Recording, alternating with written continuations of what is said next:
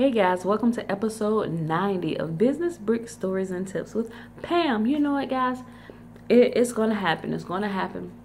Whether it's some kind of internal problem or you have a customer coming at you out their face because they're not too happy with your product or they want a refund or you got customers coming into your store they want to return a product or maybe this is not what they ordered you know so guys but in everything as a business operator, as a business owner, as an entrepreneur, you must learn how to keep your cool in all things. You have to stay level headed. You can't be all, I mean, you got an upset customer or upset team member or something. You can't be hollering and screaming because they hollering and screaming because nothing is going to get accomplished. And if you face to face, you guys might start start fighting, going for some blows smack you you know you don't want to do that. Just it, it's just not cool. Plus nowadays you're gonna be all over social media because it's always that one person in the crowd that's recording this you know? And then they're gonna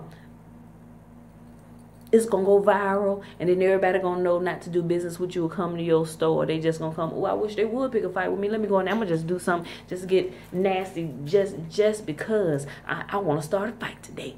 You know so guys you don't want to do that. You put your business in jeopardy. So learn how to keep your cool. You know what?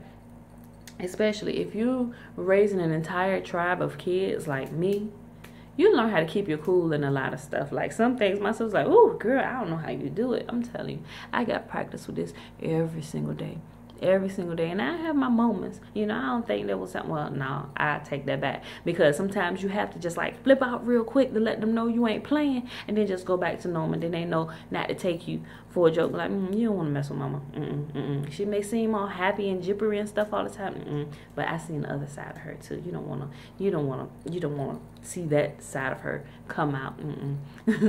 so guys, keep your cool in all things. It's, it's just, it's just really good for business. It really is. You know, you be a pleasant person. And people love to do business with pleasant people, especially people that know how to de escalate a situation. All right, guys. So thanks for watching. I will see you in next episode.